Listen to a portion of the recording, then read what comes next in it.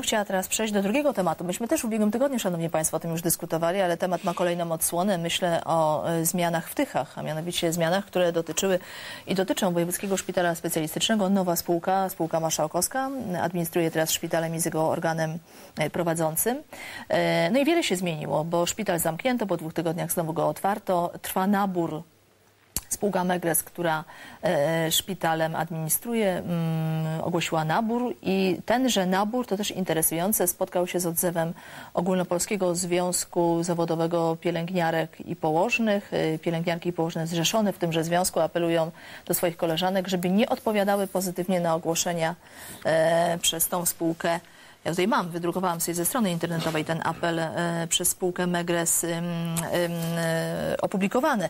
No i mam takie pytanie, bo ta wojna trwa między ym, poprzednią rzeczywistością szpitalną, obecną rzeczywistością szpitalną. Czy panów zdaniem nie odbije się to bardzo prędko na pacjencie? Znaczy, Ja nie znam tego oświadczenia środowiska na pielęgniarskiego. stronie Natomiast chciałbym zwrócić uwagę, że już od, e, od piątku tak naprawdę szpital w tej nowej formu, formule prawnej funkcjonuje. Ja rano sprawdzałem.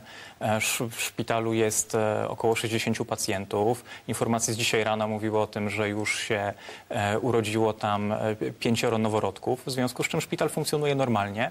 I chciałbym zwrócić uwagę, że to jest przykład chyba bardzo szybkiego i, i w mojej ocenie bardzo dobrego przekształcenia.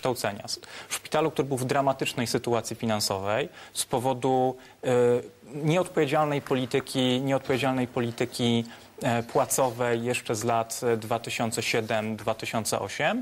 E, Szpitalu, który właściwie komornik wisiał mu na e, wisiał mu nad głową, natomiast okazało się, że rzeczywiście w kilkanaście dni da się przekształcić w taki sposób e, podmioty po to, żeby w tym samym miejscu można było kontynuować działalność leczniczą. Panie pośle, I ten to szpital jeszcze- funkcjonuje. To jeszcze zapytam, y, i zanim oddam głos pozostałym panom, a co się stało z tym długiem szpitalnym? Bo ten dług E, wynosił ponad 60 milionów złotych. Mamy teraz nowy podmiot na rynku. Tak.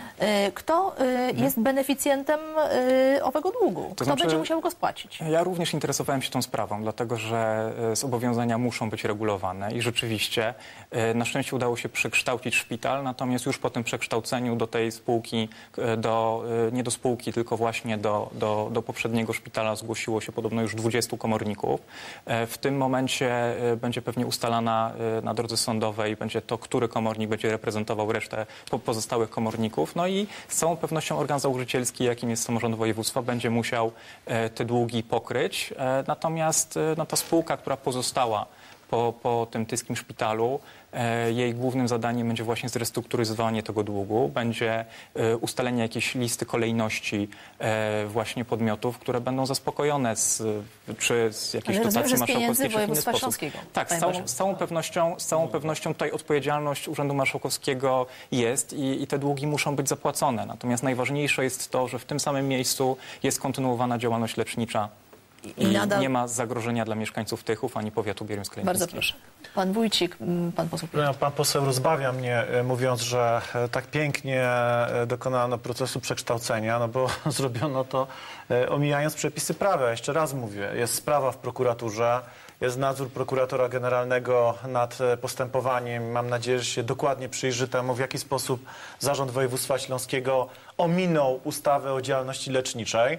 E, Mamy już też e, pewną wiedzę na temat kontraktu. Ja sygnalizowałem to już kilka tygodni temu na konferencji prasowej, że dwie, dwa oddziały nie otrzymały kontraktu NFZ-u. Nie ma po prostu na dzisiaj. I wiemy na pewno, że mamy Ale trwają około... też rozmowy, prawda? Około, Na no tak, no ale no to znaczy, że, ta, że pacjenci muszą jeździć w zupełnie inne miejsca regionu. 18 milionów około e, jest kontrakt dla spółki Megres. Jak przeżyje ta spółka? Powiedzmy sobie tak, jeden podmiot narobił 70 milionów długu i pan myśli, że teraz spółka Megres nie będzie miała długu przy takim kontrakcie? To jest niemożliwe. Jutro Ogólnopolski Związek Zawodowy Pielęgniarek i Położnych podejmie decyzję o strajku. Tam najwięcej pielęgniarek akurat w szpitalu tyskim należy do tego związku. Ja się akurat tutaj zupełnie nie dziwię, natomiast e, sądzę, że cała sprawa zakończy się w Wojewódzkim Sądzie Administracyjnym i być może zostaną postawione zarzuty prokuratorskie. Jedna rzecz jeszcze, bo pani redaktor zapytała, "Sz- kto zapłaci dług? Nie Urząd Marszałkowski, panie pośle. My wszyscy zapłacimy. I nie za to nieudolność dyrektorów, za nieudolność także nadzoru nad dyrektorami, nadzoru, który sprawował Urząd Marszałkowski. Nie lata 2007-2008, tylko pan e, marszałek Kleszczewski z Platformy Obywatelskiej. To wy doprowadziliście do Krótko, upadku tego adwocent, bardzo doskonałego krótko, panie pośle, bo oddajemy głos dalej opozycji. Ta nieodpo- nieodpowiedzialna polityka płacowa była prowadzona właśnie pod koniec 2007 roku, kiedy marszałek Leszczewski jeszcze nie, nie piastował tej funkcji. Wtedy za nadzór nad służbą zdrowia w województwie śląskim e, odpowiadał wicemarszałek swoją drogą z, ze, z Prawa i Sprawiedliwości. Ale jeżeli, jeżeli mamy być uczciwi, dla mnie najważniejsze jest to, że tam są prowadzone w tym momencie świadczenia, że pacjenci nie odchodzą z kwitkiem. Natomiast to, że ktoś próbuje ugrać jakieś tam swoje cele polityczne i bez przerwy zawiadamia prokuraturę, bo nie ma innego pomysłu na to, w jaki sposób zajmować się restrukturyzacją słu- służby zdrowia, no to pozostawiam już ocenie Pan poseł Piecha, e, telewizji. pan Mercik. Ja nie, Takiej nie będę się tutaj wypowiadał, bo szpital Tyski jest takim przykładem, czego robić nie wolno i nie powinno się. Ja gratuluję panu posłowi, że z 550-600 prawie łóżkowego szpitala, a raptem jest 60 pacjentów. Gratuluję pomysłu. To chyba może tylko w jakichś planach absolutnie wirtualnych i nie- niebanalnych się zdarzyć. Ten szpital przyjmował kilkadziesiąt tysięcy pacjentów, a nie 60. To pierwsza sprawa. Druga rzecz, oczywiście zasadnym jest pytanie, co z długiem i nikt y, nikogo z tego nie rozgrzeszy. I będzie pytanie, na jakiej podstawie właśnie samorząd województwa pokrył długi tego szpitala tyskiego, a co będzie z resztą szpitali, bo wiemy, jaka jest sytuacja szpitali, gdzie marszałek województwa od pięciu lat czy nawet od sześciu, bo to nie jest tak, że tam do końca przejęliście w pewnym momencie władzę, y, że ten marszałek za nic nie odpowiada, a to odpowie prokuratura. To jest przecież jasne jak słońce. Ja Panie panu powiem, że dzisiaj y, do Komisji Zdrowia pan minister, a w zasadzie posłowie pana klubu skierowali ustawę o nowelizacji ustawy o działalności leczniczej. Ta ustawa ma gdzieś około 150 czy tam 130 artykułów. Wie pan, ile zmian zaproponowali teraz nieśmiało? 48. W doskonałej ustawie, którą państwo prze, przepychaliście kolanem. W takim pośle, tempie. Dzisiaj jest jeśli 48 zdanie- Być, proszę być istotnych zmian. Ta- ta- ta I teraz ja powiem jeszcze jedno. Jeżeli ktoś w Chwileczkę, ale Może- wróćmy do może sytuacji powiedzieć na w wszystko. Tychach. Panie pośle, Że- ja muszę pana o to zapytać. Jeśli rozwiązanie, o którym tutaj dyskutujecie panowie, w pańskiej opinii jest błędne, to jakie było lepsze? A lepsze rozwiązanie to trzeba było pytać kilka lat temu, co można było zrobić. Ustawa, którą pan był żeśmy wiceministrem zdrowia, panie i była, pośle. Co dotyczyła pan zrobił w tej przełomu lat sytuacji? y, SLD i P- Prawa i Sprawiedliwości, dotyczyła restrukturyzacji zadłużenia. Z 6 milionów udało się zrobić poniżej 2 miliardów złotych. 6 miliardów. Dzisiaj akurat zro- stało się to w drugą stronę, mimo kolosalnych wzrostów Czyli rozumiem, pieniędzy że te ze zarzuty składki. mówiące o tym, Wszystko, że- co się mogło zdarzyć, zda fatalnego w, okresie, y, w ochronie zdrowia, czyli dezintegracja systemu, bo nie jest zdezintegrowany, dzisiaj nikt nic nie wie, co tam się dzieje, stało się za waszych rządów. I proszę nie Panie rozgrzeszać na sprawę, bo nic, jeszcze jedno, nic lepszego się państwu nie czasy, mogło w zdarzyć, jak rządy PiS. Bo gdyby nie było rządów PiS, to czym byście w ogóle tłumaczyli? Działacze Prawa i Sprawiedliwości. Panie pośle, przed momentem pan poseł Wójcik przywołał sytuację, w której odpowiedzialność w opinii Platformy Obywatelskiej za to, co się stało z lecznicą Tyską, też ponosili w części... Ja wiem, w części, w części dokładnie y, akurat rządy trwały, chyba z tego co ja przypominam sobie, nie, gdzie Rozumiem, Prawo że i Sprawiedliwość nie rządziło. Nigdy. opinii. Nigdy. Co najwyżej z wami. Co najwyżej z wami, przepraszam. Przy, przy waszym, przy waszym marszałku. Przede wszystkim, przede wszystkim nie był naszym więc marszałkiem. Ale kandydował. z- Kandydował z waszych list, niejaki Tomczykiewicz podpisywał. Ja brałem. Pan wtedy może jeszcze był troszeczkę młodym działaczem. Ja wiem, jak. Pan Mercik, pan Wójcik. Proszę nie zrzucać w prosty sposób odpowiedzialności na kogoś. Bo Znaczy, w no- tym jesteście wy specjaliści. Nie, my, my posprzątaliśmy. My No posprzątaliśmy widzę, tę że się sytuację. posprzątali wyjątkowo dobrze. Gratuluję są takiego. Szanowni panowie, pan Panowie, Henryk Mercik ma teraz głos. Pan Henryk Zaraz jeszcze podyskutujecie. No, Ja tylko powiem tak, no y, faktycznie i tutaj muszę powiedzieć y, z ręką na sercu, że tak, szpital został uratowany i myślę, że y, trudno mi dyskutować nad sposobem, w jaki to się odbyło, natomiast jest, okazało się, że zostało to zrobione skutecznie, bo on działa. On działa mimo sytuacji, która była naprawdę tragiczna i groziła tym, że on nie będzie istniał. Natomiast ja powiem tylko tyle. Ja, interesując się tą sprawą przez dłuższy czas, nie usłyszałem ani jednego innego pomysłu konkretnego na uratowanie tego szpitala. Ani jednego. Pytałem próbowałem się dowiedzieć, czy macie pomysł, czy jest jakikolwiek inny pomysł, żeby ten szpital działał. Nie było takiego pomysłu, więc teraz krytykować... nie szukał pan u siebie Panie- tego panie pomysłu? redaktor, To nie Pan no, ale nie było takiego pomysłu. Panie E, pan nie ma no, no więc, no więc, e, no więc Panie- e, panie radny, a proszę, ja pytanie proszę nie radnego. krytykować bez sensu, Ale ja mam- dlatego a Ja że... pytam, czy pan miał pomysł. Ja No, ale, no, a, a, ja no, no, ja, myśmy mieli pomysł, no pomysł został zrealizowany. No, zlikwidowaliście 600 łóżkowych. Solidarna Polska. Nie, proszę i tyle. nie zlikwidowaliśmy. A ja, ja, co, Szpital działa. Przepraszam, Może pan to jest szpital jest zlikwidowany pośle. i to jest fakt prawa. Działa. Panie pośle. proszę pana. No. E, Chciałem zapytać, czy pan, czy pan radny w ogóle zna ustawę o działalności leczniczej? Czy zna pan artykuł 69? Bo y, to nie jest tak, to my nie żyjemy, nie żyjemy na dzikim zachodzie, proszę pana, ale przepraszam, nie przeszkadzałem panu radnemu, że można sobie od tak nagle likwidować szpital. Y, zachęcam pana, żeby pan sobie wieczorem po programie zajrzał do stenogramów e, z wypowiedzi pani poseł Sawickiej. Ona dokładnie przewidziała kilka lat temu, jaka będzie prywatyzacja w Tychach, niech pan sobie wyobrazi. Pan się pyta, jaki jest pomysł. Jeżeli już nie ta ustawa, chociaż sami Państwo daliście pomysł e, tej ustawy, pamięta Pan, Panie Pośle, jak Pani Marszałek Kopacz forsowała ustawę, pamięta Pan? E, Ta ustawa nic nie zmieniła, bo to już dzisiaj wiemy z raportu Najwyższej Izby Kontroli. Pan się pyta, jaki pomysł. Jeżeli nie to przekształcenie, to trzeba było restrukturyzować dług, trzeba było wziąć taki przykład, jak na przykład zrobiła prezydent Rudy Śląskiej. Przecież tam był szpital z gigantycznym zadłużeniem i co? I wyszedł na prostą. Wie Pan, od czego to zależy? Od ludzi w dużej części. A kim obsadziliście stanowiska? Swoimi działaczami. Pan poseł Klepacz. Ja I pan poseł od Bal. 2007 roku e, obserwuję, e, no już z racji tej, że zasiadam w parlamencie, to co się dzieje w służbie zdrowia i muszę powiedzieć tak, że każda kolejna ustawa, którą e, proponuje koalicja, doprowadza do to, coraz większej anarchizacji w służbie zdrowia. I tak samo e, doprowadzi do tej anarchizacji e, ta ustawa, o działalności leczniczej. E, Już w ubiegłym roku, kiedy e, wiosną 2011 roku ta ustawa była wprowadzana, my żeśmy zwracali, e, cała opozycja zwracała uwagę na niedoskonałość rozwiązań zaproponowanych w tej ustawie, ale została ona przepchnięta kolanem. Ja mam swoją teorię na ten temat, właśnie obserwując to z perspektywy od roku 2007.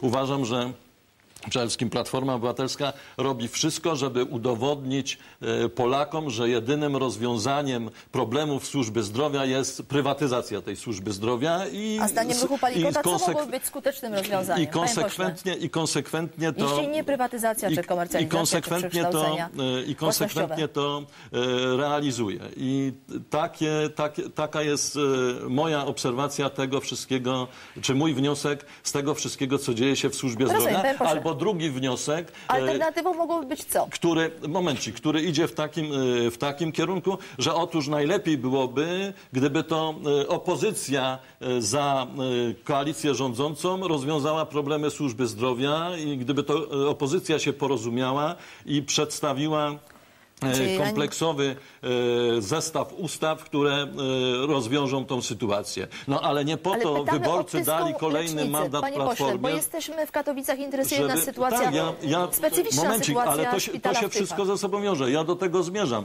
Akurat ten szpital jest takim no, wzorcowym pewnym przykładem rozwiązania problemu w Tychach, dlatego że akurat ten szpital dostanie kontrakt taki, jak sobie będzie, jaki będzie potrzebny y, i y, wymagany i w tym szpitalu, bo jestem przekonany, że nawet ten kontrakt, który jest, to zostanie zwiększony po to, żeby ten eksperyment się udał. Ale to jest jeden szpital. Ja się pytam, czy pozostałe szpitale, które są w podobnej i, i dostanie y, pieniądze na oddłużenie. Ja się pytam, czy w tej sytuacji, w jakiej są pozostałe I to jest pytanie, szpitale które ja też samorządowe też zostanie, zostaną zwiększone kontrakty, Walt też zostaną odpowiedzi. zwiększone kontrakty i też y, y, zaproponuje się oddłużenie tych sz- szpitali nie poprzez przerzucenie tego obowiązku na samorządy. Zaraz uogólnimy Więc ja chciałbym wiedzieć, Balt, jaka będzie proszę. sytuacja w tych y, pozostałych szpitalach. W pierwszej kolejności powinna zostać sprawiedliwie dzielona e, dotacja, e, czyli pieniądze na Narodowy, czy pieniądze na e, Narodowy Fundusz Zdrowia na poszczególne województwa. No, pamiętamy podział pod koniec ubiegłego roku, kiedy Mazowieckie dostało 500 milionów, a Śląsk 15 milionów. E, tak na, Jak to się ma do Tychów, panie pośle? no, to się Usiłujemy- ma do Tychów, że gdyby tutaj przyszedł większy, większe pieniądze na kontrakt, to ten szpital mógłby dostać wyższy kontrakt i byłyby większe pieniądze na to, A co żeby... do istoty żeby... przekształcenia, bo A to mnie co do istoty interesuje. przekształcenia uważam, że to jest e, realizowane m, e, co najmniej z naruszeniem prawa. Ja nie wiem, czy tam było popełnione przestępstwo, czy nie, wyjaśni to prokuratura, ale w mojej ocenie, zgodnie z obecnie funkcjonującym prawem, nie można sobie przekształcać szpitala w, w dowolny sposób.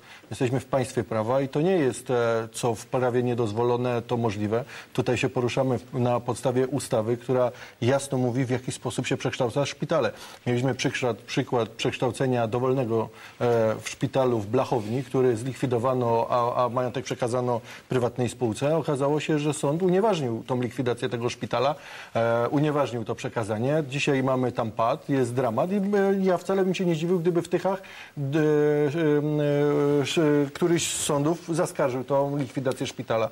Ale za chwilę, to pani mówi, co, co z dalszym, co z, z następnymi szpitalami. Mamy przykład w Częstochowie, co robi Platforma.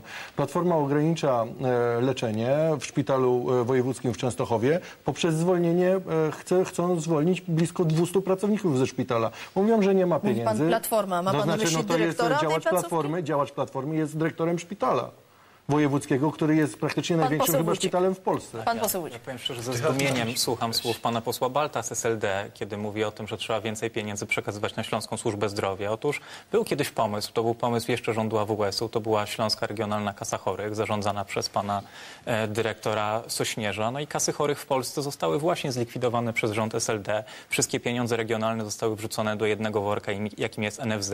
I teraz minister Arłukowicz rzeczywiście będzie, mam nadzieję, reformował system e, ochrony zdrowia, system właśnie NFZ-u po to, żeby płatnik uwzględniał bardziej tą specyfikę, bardziej specyfikę regionalną. Natomiast w przypadku SLD to SLD tutaj e, jednak ma pewne, pewne grzechy na sumieniu. Ale wracając, ja się chciałem ale wracając to za chwilę. bardzo króciutko, Ale wracając do... Super króciutko, panie pośle. Jako, jak, Bo musimy dojść do istoty szefem.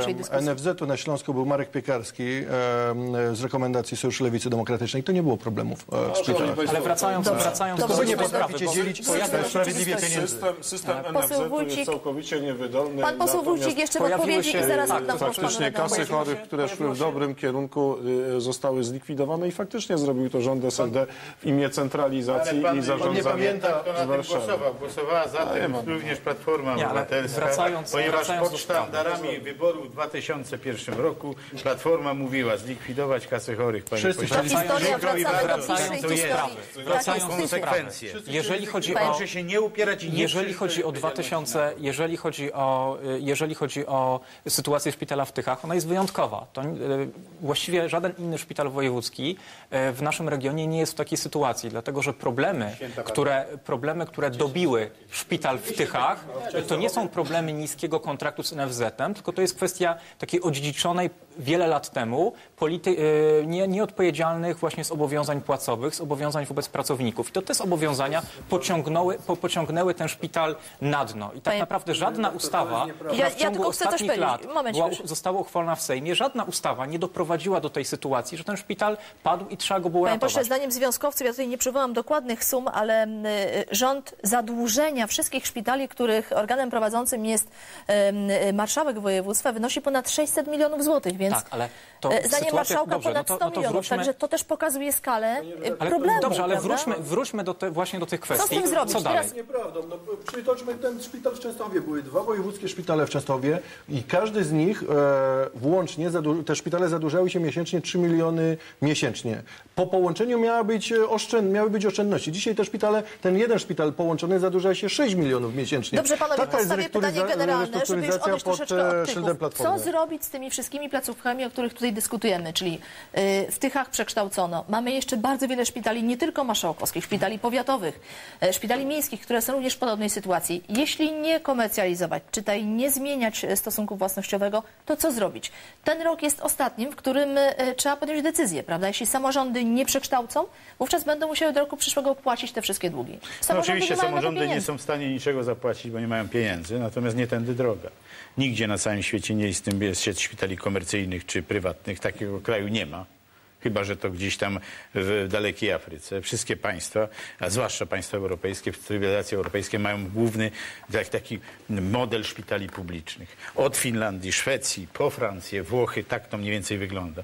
I wszędzie też że już w przypadku naszego sąsiada, czyli Niemcy, mają sieć szpitali. Te szpitali publiczne, gdzie kształci się młodzież na lekarzy, gdzie załatwia się bardzo ważne e, sprawy zdrowotne, gdzie prowadzi się badania kliniczne i tak dalej, zawsze będą pod szczególną opieką władz publicznych i na to muszą się znaleźć pieniądze. Ja nie mówię, że wszystkie szpitale muszą być publiczne i państwowe. Nie. Ale trzon tych szpitali musi być e, niestety szpitalami publicznymi. Ustawa o zakładach opieki zdrowotnej, która zakładała, że może być sieć szpitali, została zaprzepaszczona. Z komercyjnych rzeczy sieci się nie zrobi. Komercja zawsze będzie nakładała na zarządzających, a już nie mówię na właścicieli, jeden podstawowy element. Pokażcie, że dajecie zysk. Nie znam spółki, która jest tolerowana bez zysku. Solidarna Polska. E, Ja zanim jeszcze odpowiem na, na to pytanie pani redaktor, to chciałem jeszcze sprostować jedną rzecz. Otóż e, naprawdę pan e, poseł Wójcik całkowicie mija się z prawdą, jeżeli chodzi o szpital Tyski. E, Ponieważ, panie pośle, nie są to w żadnym razie odziedziczone e, podwyżki wynagrodzeń. To jest wasza wina absolutnie ostatnie pięć lat. Wy nadzorowaliście, nawet nie wiedzieliście, że trzeba rezerwy utworzyć. Wy się zorientowaliście, że dług był szpitala w Tychach dopiero kilka miesięcy temu, 70 milionów. Ja to panu gwarantuję jako radny, bo ja też nie wiedziałem o tym. Wy się zorientowaliście dopiero kilka, kilka miesięcy temu. Proszę poro- porozmawiać lepiej z kolegami. Natomiast e, o co mam żal największy? O to, że Dzisiaj my nie rozmawiamy tylko o szpitala w, w szpitalu w Tychach tej sytuacji, tylko co najmniej 10 szpitalach. Jakoś bez echa prawie przeszła informacja, e, którą podał wicemarszałek Kleszczewski, że 10 szpitali jest przygotowywanych do likwidacji. Pan mówi o szpitalu w Tychach, przecież to jest eksperyment. Jak wam się uda ten eksperyment, to wy będziecie to stosowali w wielu różnych szpitalach. Czyli dług zostawić na wydzielonej części SPZOZ-u, majątek przerzucić do jakiejś nowej spółki i zaczynać niby od zera. Za chwilę tam będzie również, również dług. Ja się pytam pana trzeci raz, trzeci program już, dlaczego nie było stołu okrągłego, żebyście zaprosili ekspertów? Dlaczego nie zaprosiliście partnerów społecznych? Dlaczego nie było grup zakupowych na przykład w województwie śląskim? Niech mi pan odpowie, dlaczego nie kilka szpitali... Panie radny, może to wszystko było, tylko pan o tym nie, wie. Nie, nie, nie było. Dlatego się pytam, bo ja wiem doskonale, co pan odpowie tutaj, ale żeby e, e, widzowie także usłyszeli, że pan tutaj nas nie mamił jakimiś rzeczami. Dobrze, e, pan doktor Stach milczy przez dłuższą część naszego programu, rozumiem, przysłuchuje się tej ożywionej dyskusji. Panie No bo doktorze. dyskusja jest słuszna, wnioski są dobre, ataki opozycji również. Ale co zarząd województwa miał z własnym szpitalem zrobić, skoro y, jeszcze pół roku nie było, a tam 60 milionów straty jest? Podjął taką decyzję. Co z niej wyniknie i na ile ona będzie pionierską, to się okaże. Ale proszę mi powiedzieć, co z przekształceniem, bo y, sytuacja zadłużonych szpitali to nie jest tylko sprawa Tyska. Co mają zrobić y, prowadzący te szpitale, żeby y, wyjść z tego impasu? No, te decyzje to jest tutaj. sprawa najbliższych dni. Rozmawiał poseł prawnik z posłem lekarzem. Jeszcze na poziomie ustaw są błędy. 48 poprawek do niedawno uchwalonej. No, Tak, to jest po- praca Pana dla... wspólnie z kolegami z Platformy o 23 w nocy na Komisji Zdrowia przepychali poprawki, które były z panie pośle, automatu nie, nie z w tym rzecz, no. nie w tym rzecz. Sprawa jest jednak bardzo poważna i te 10 szpitali wojewódzkich czeka i puka za drzwiami. Tam dyrekcje tych szpitali pukają do pana marszałka. Niech się pan nie martwi, panie pośle, pukają. I oni będą chcieli to samo. Czyli będą chcieli, żeby pan ich oddłużył jako marszałek. I ja rozumiem, że to wszystko, tą masę spadkową szykujecie dla poprzed nas następców, bo niestety władzę stracicie, to jest oczywiste. I teraz proszę Dobrze, się, to zanim proszę się teraz władzę, oczywiście w- pana posła spróbować wdrożyć Panie w te pośle. sprawy, co powiedzą następcy. No przecież idzie to ewidentnie, że zadłużycie po prostu województwo. Już jest województwo zadłużone. Panie pośle, jakieś rozwiązanie? Te długi tak czy inaczej są. Staramy się z nich wyjść, staramy się zrestrukturyzować długi, doprowadzić do sytuacji, gdzie w tych szpitalach zrestrukturyzować dług? No trzeba go doprowadzić, zapłacić, no, panie pośle, z, całą pewnością, z całą pewnością te długi będą uregulowane. Natomiast staramy się doprowadzić do sytuacji, gdzie pomimo długów w tych samych miejscach będzie prowadzona działalność lecznicza i to się udało, i to się udało zrobić w Tychach, pomimo 60% dramatycznej, pomimo dra, dramatycznej sytuacji Oby szpitala. nie było tak jak ale z tą wracając, autostradą A4, ale wracając z do, tymi do, bramkami tak do tego ogólnego pytania, które pani zadała. E, To czy tutaj niestety większa część sceny politycznej straszy, że komercjalizacja to jest jakieś bardzo złe działanie. Ja chciałem odwołać do danych ze Związku Powiatów Polskich i Związek Powiatów Polskich wskazuje, że tak naprawdę od przez ostatnie lata przekształcono już sto kilkadziesiąt szpitali nie sprzedano, tylko przekształcono.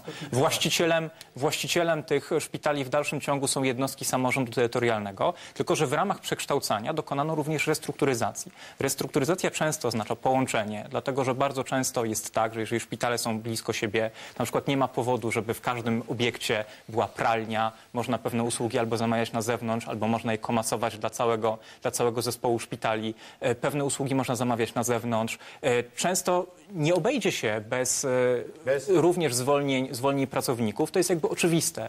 Natomiast tam, gdzie szpitale zostały skomercjalizowane, one się nie zadłużają aż tak bardzo, pośle, w jak świecie- szpitale w nieskomercjalizowane. Europie, gdzie jest Pan poseł potężny deficyt ja się zawodów odwołuję do konkretnych zawodów, danych. Zawodów medycznych. Pan mówi o zwolnieniach, pan Panie- chyba nie wie, o panie- czym pan mówi. system, Oprócz, panowie.